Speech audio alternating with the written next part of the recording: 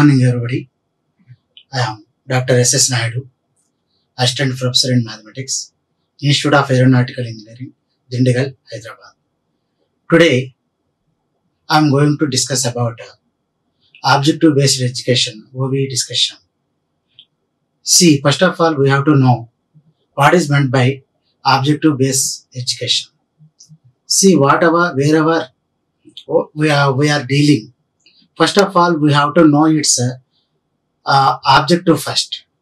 It uh, why it is being discussed, and what are the main and key roles about that to- topic, and all these things should be elaborately discussed. That's why this topic has been going on now.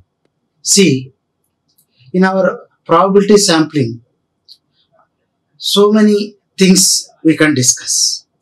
Probability sampling is a type of sampling where every member of the population has a known and equal chance of being selected for the sample.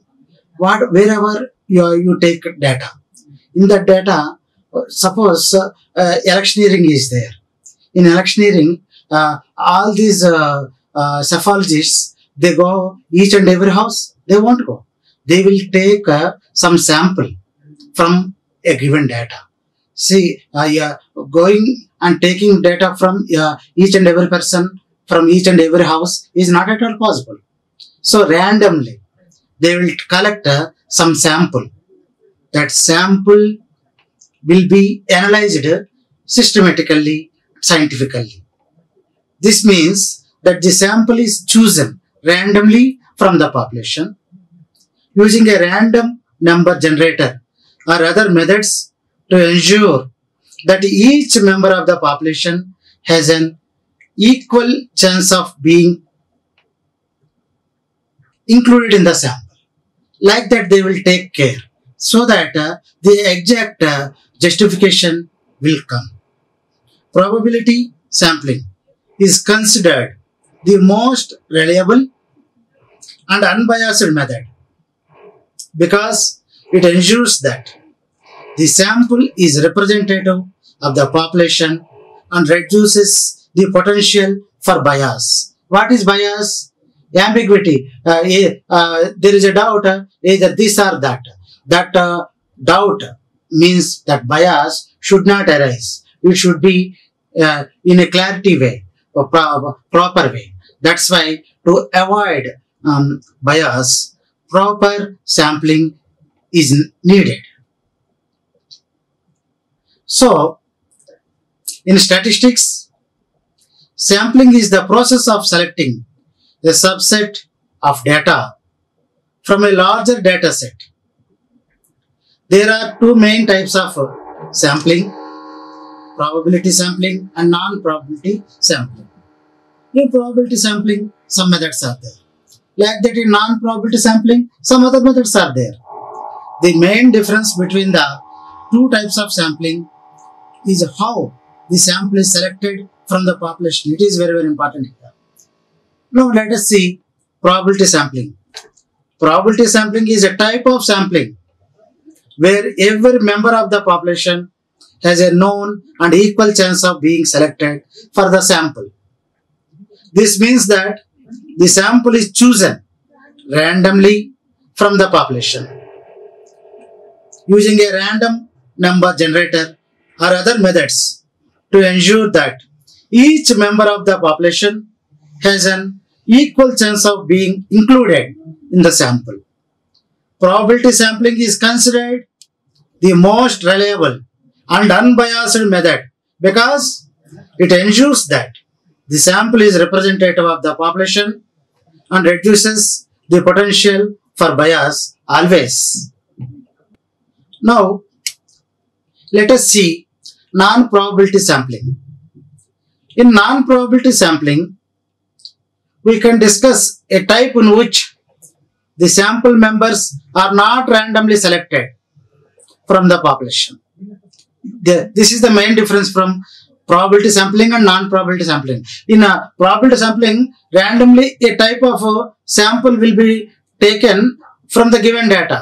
Here, in non-probability sampling, it is a type in which the sample members are not at all randomly selected from the population. In non-probability sampling, the sample may be selected based on convenience, availability, or other factors rather than random selection. Non-probability sampling is generally considered less reliable and less unbiased than probability sampling because it is not guaranteed to be representative of the population. But uh, in both uh, uh, probability uh, sampling and non-probability sampling, the maximum occurrence will come. But uh, the way that we are doing is different.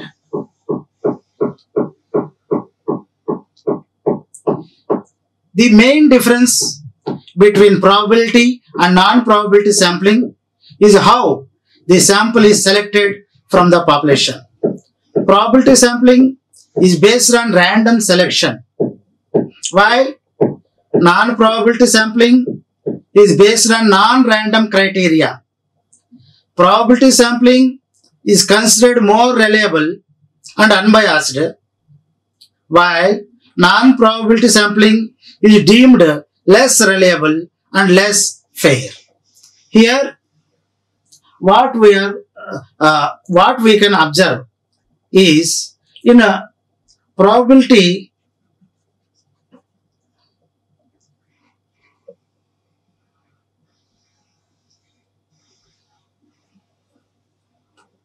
sampling. The main thing what we can we can uh, uh, expect uh, more reliability.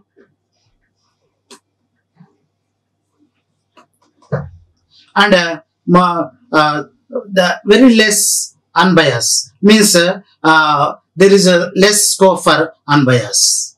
Here whereas in a non-probability sampling it is a less reliable and a less fair. That is the main difference between uh, uh, probability sampling and non-probability sampling. Now let us see types of probability sampling. Several different sampling methods can be used for probability sampling. Some common sampling methods for probability sampling include simple random sampling. In the simple random sampling actually this is the base uh, most basic method of probability sampling where every member of the population has an equal chance of being selected for the sample. This is typically done using a random number generator lottery or other methods to select a subset of the population randomly this is the main uh, feature of this uh, sample random sampling. Now let us see other method systematic random sampling. This is a probability sampling method where the sample is selected using a systematic random approach. That is the key point here. This method involves selecting a random starting point in the population and then selecting every some kth member of the population. So, for example, checking every sixth piece produced by the machine to be included in the sample. So, some criteria we are, we are taking. Uh, what, the, what is that condition? Checking every sixth piece produced by the machine to be included in the sample. For instance, if the population contains 1000 members and the sample size is 100 suppose, the researcher could select a random number between 1 and 10 and then select every 10th member of the population starting from that point. See, what is the condition here? Here, how many members are there? 1000 members are there. What is the sample size? 100. Here, thousand members are there. The sample size is 100. The researcher could select a random number between 1 and 10 and then select every 10th member of the population starting from that point. This method ensures that every member of the population has an equal chance. That we are key point here. Every member has an equal chance of being selected for the sample and can be more efficient. It can be more efficient than sample random sampling.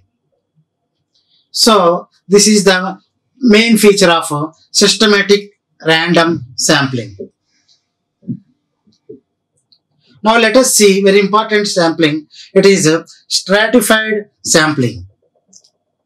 This stratified sampling method involves dividing the population into different subgroups. It divide in this it will be divided into different subgroups or strata based on certain uh, characteristics and then randomly selecting a sample from each stratum. This ensures that the sample is representative of the various subgroups in the population. For example, if 10 people are drawn to represent a country, 5 of them are male and 5 of them are female to avoid gender bias. Now, what we are doing here in stratified sampling by seeing this, we are avoiding gender bias, we are avoiding ambiguity, either this or that or the doubt is, uh, should not, uh, it should not occur. It should be cl clear. So we are taking the concept, mainly it should be clear and it, should, it is, uh, it is non-ambiguous, means gender bias should not occur. So, next one more method is there, cluster sampling. This method involves dividing the population into different clusters and then randomly selecting a sample of clusters. All members of the selected clusters are then included in the sample. So we are dividing into clusters and we are taking them into consideration and all these members of the cl selected clusters are then included in the sample. This method is often used when it is impractical to sample the entire population and can be more efficient than simple random sampling. Sampling is often clustered by geography or by time periods. For example, survey all customers visiting particular stores on particular days. It comes under, definitely it comes under cluster sampling. Why? Uh, uh, while the customers coming to a particular store means, uh, can we divide them into clusters or not? Definitely we can divide them into clusters because some people buy some some some, some article, some people buy, buy some article, some people buy some article. So uh, uh, as many as clusters we can, as many clusters we can provide there. So uh, this is the best example for cluster sampling.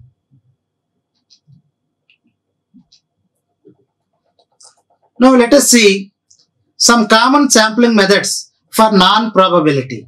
Till now we have discussed about uh, so many important uh, sampling methods in a uh, probability. Uh, now non-probability sampling methods, let us see. This sampling include convenience sampling. Here we are taking some convenience at the set at the same time we are taking some some lenience. That's why there is a scope for uh, bias. And th- that's why there is a scope for uh, less fair. Wherever we are uh, how how strong our parameter is there that much strong our survey will be there. How uh, how weak your sampling is there that much uh, uh, uh, ambiguity will come in our sampling. Here in this uh, convenience sampling this method involves selecting a sample based on convenience or availability. Here only we are taking lenience convenience or availability. Means if there is no uh, proper availability you have to go and search and uh, again you have to take time and you have to go for you have to pick out the good thing uh, the reliable thing but uh, here what what is going on? Whatever available is there just that only you are taking and you are going on. So definitely there will be a possibility for a less fair for example a researcher may choose a sample of participants from a nearby community or a convenient location rather than selecting a random sample from the population. It is usually done when you want to get as many responses as possible quickly. Convenience samples are typically biased. That is what we are discussing. Convenience samples are typically biased. Means ambiguity will come. We cannot judge either this is correct or that is correct. That is bias. Toward those who are agree with your research question. For example, surveying friends and family members definitely less fair will occur.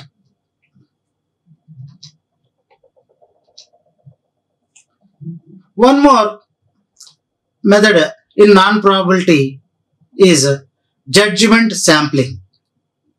This is judgment sampling, it is a method of non-probability sampling where the sample is selected based on the judgment it is based on the judgment or expertise of the researcher. So in judgment sampling, the researcher uses their knowledge and experience to select a sample that is believed to represent the population. This method is often used when it is difficult or impossible, difficult or impossible means if it is difficult or impossible uh, we cannot take a, wrong thing as correct thing we have to uh, uh, wait we have to take a proper thing and then only we have to keep it into existence. But what we are doing here so it is difficult it is impossible that's why whatever readily available there or it is already judged we are taking. That's why prob uh, the, there is a chance for less fair. When it is difficult or impossible to sample the population randomly or when the researcher has expertise in a particular field that allows them to select a representative sample. However, judgment sampling is generally considered less reliable as we discussed earlier and less unbiased than probability sampling. Why all these things are coming? We discussed now. Uh, we are taking that uh, availability. We are taking that difficulty condition. We are taking what is uh, judgment uh, already had been done. These are not uh, uh, proper criteria to for proper survey. That's why these things are coming. less reliable, and less unbiased. Because it is not guaranteed to be representative of the population. For example, an other an auditor selects a sample based on the concerns in the earlier audit. See, suppose uh, some investigation is going on on a financial company. Uh, what will be the newly appointed auditor will do? What previous auditors did. What what was their uh, previous uh, auditor's uh, uh, report? Everything this new auditor will analyze. After that, what are the main mistakes had been done in previous one? He will catch catch them, and uh, after that, he will, one by one he will analyze uh, with a scientific approach. Then he will find out where uh, where is the main fault for the bankruptcy of this company. That's why a systematic uh, survey should be done irrespective of availability, conditions existing there, and uh, judgments already had been done. These are not the uh, uh, conditions to make a judgment, to make a survey. Survey means it should be proper, it should be reliable, it should be unbiased. That's why uh, we have to take a proper decision. Now, one more uh, sampling which comes under non-probability quota sampling. What is uh, quota sampling? This method involves setting quotas. Quotas means some amounts for different subgroups. For different subgroups in the population and selecting a sample to meet those quotas. Typically, the researcher identifies the target group and then randomly selects a percentage of the group. These are the key points. For example, a university wants to survey students' attitudes toward their courses. Which type of courses they are liking. They are fond of which type of new syllabus, new which type of new courses. For which course most uh, uh, more demand is there. Which courses are not are being neglected. All these things uh, are being uh, surveyed by suppose a university then they know that there are around suppose 1000 students enrolled each year. So they randomly select 200 students each year. For a 1000 to 1000 survey it is impossible. From those uh, 1000 students randomly for every five five persons one person reliable person like that they will choose. And exactly and proper uh, survey will come survey result will come it can be at least something far better than that uh, uh, p- previous ones. Now let us see one more sampling. It is also comes under non-probability. Snowball sampling. This method involves starting with a small group of participants and then asking them to refer other participants who fit the criteria for the study. This process is repeated.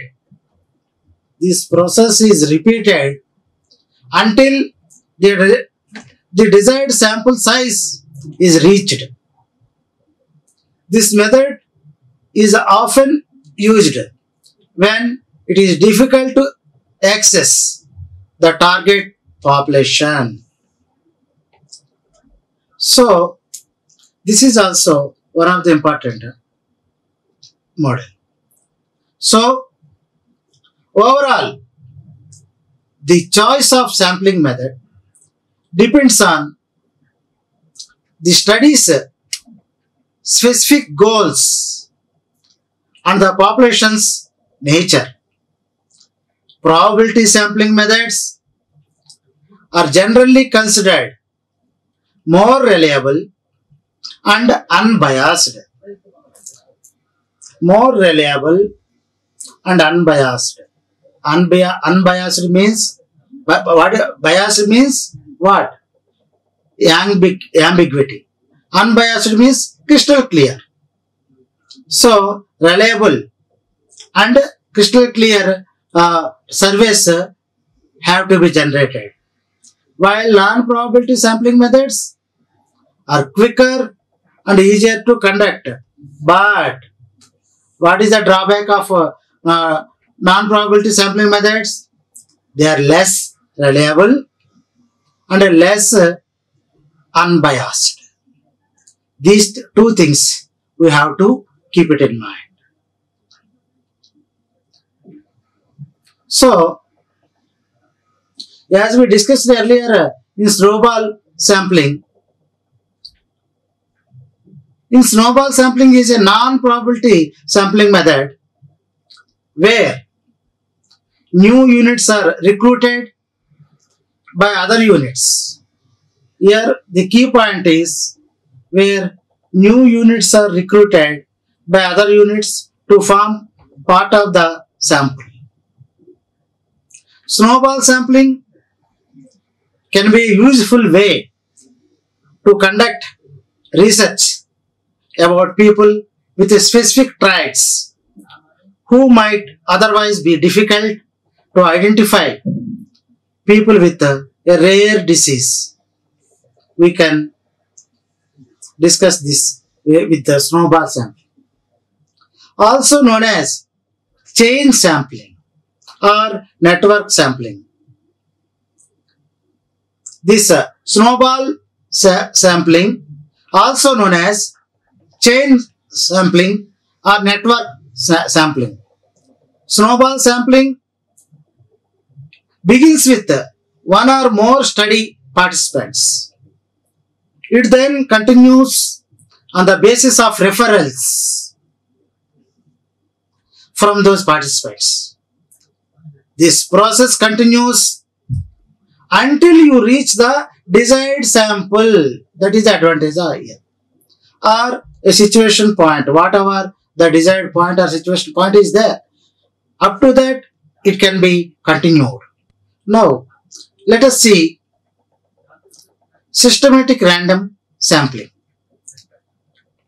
This systematic sampling occurs when researchers refers, reference a list and choose a certain subgroup as study participants. For example, you can compile a list of 250 individuals in a population and use every 50 person as a study participant. We are taking a constant like this. Systematic sampling aims to eliminate bias, means ambiguity. What is ambiguity? Either we have to do this thing or that thing, the doubt should not arise. It should be clear. So, uh, that confusion is there, it comes under ambiguity. It comes under bias. So, to eliminate that uh, uh, confusion, that bias, and can be easier to achieve than random sampling. However, systematic sampling differs from simple random sampling because the systematic method does not offer the same probability of being chosen for every member of a population. So, that is the main advantage of systematic random sampling. Now, in this cluster sampling, what, what can we learn? This cluster sampling involves dividing a certain population into groups or clusters. Often clusters correlate to different geographic areas. So these cl- clusters correlate to different geographic areas. Researchers choose clusters to use in their study randomly and every member of each cluster takes part in the study. For example, you could examine the dining habits of residents in a certain state. You can divide these residents into clusters based on the country they live and then use a random sampling method to select eight countries for the study. Cluster sampling differs from strata sample because some clusters are unprecedented in the final sample, whereas researchers use members from every stratum in stratified sampling. These are the key differences between cluster sampling, stratified sampling, like that. One and very, very important sampling is multi-stage sampling. Multi-stage sampling occurs when you use different sampling methods at different stages of the same study. Here, multi-stage sampling occurs when you use different sampling methods at different stages of the same study. Study is same. Different sampling methods are there. This that's why multi multi means many. This method is helpful for a large population sizes. So this is uh, helpful for large population sizes. For instance, consider determining how much support a new government initiative has across the country. It is not practical to list every person in the country. So, you may start by creating clusters in stage 1 for each state or geographic region. Like southwest, southeast, northeast, and northwest. In the next stage, you may further divide these clusters into strata and choose random samples from the stratum. One more important uh, is uh, voluntary response sampling.